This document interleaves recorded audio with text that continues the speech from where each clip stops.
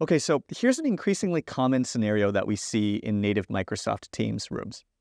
Employees receive a meeting invite from an agency or a business partner, and then they step into the conference room to take that meeting. Now, the meeting invite is configured for Zoom or WebEx, but the meeting room is a native Microsoft Teams room. Now, the good news here is that Microsoft has a feature that they call Direct Guest Join, and that's designed to allow your users to still meet cross platform even when the room is provisioned to Teams. So let's take a look.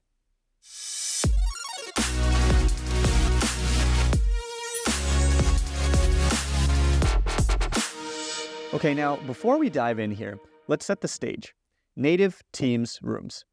You get a room where users don't have to run the meeting from their laptop. Instead, they can run it directly from the room. But you also get room booking, meaning that you can schedule meetings to the room, and more importantly, you can use our one touch join feature on the tap to join the meeting. But you also get gallery options like front row, where you can see the content on the top and then get an eye level view of participants on the bottom. And probably most importantly, you're going to get a host of camera controls within the meeting so that the user can run a virtual meeting where everyone is represented.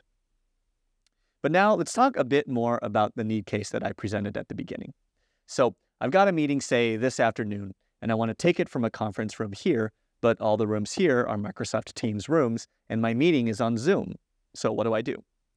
And this is where Direct Guest Join comes in.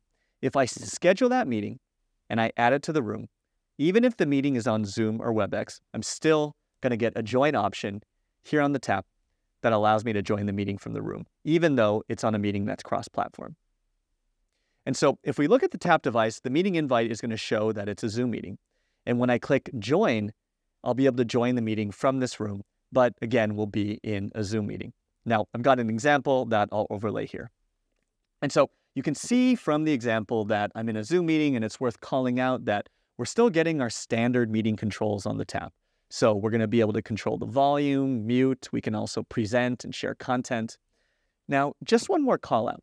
This Direct Guest Join feature is not just available with our Rally Bar line of products, and of course, rooms with dedicated PCs, but now it's also available on Logitech's RoomMate device, which allows you to run Teams rooms on Android paired with conference cams like MeetUp or Rally and Rally Plus. Now, RoomMate is one of the ways that you can upgrade from a room that is BYOD to a Microsoft Teams on Android room running on Logitech's CollabOS operating system. It's also one of the ways to move your PC deployment over to appliance, again, running on Logitech's CollabOS operating system.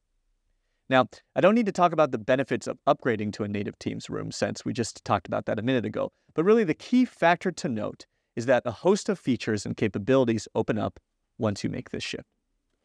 And so that is Direct Guest Join with Microsoft Teams. Whether you've got one of our Rally Bar products or RoomMate, Microsoft and Logitech have enabled more options and more flexibility. That is the magic of Microsoft and Logitech. We'll see you next time.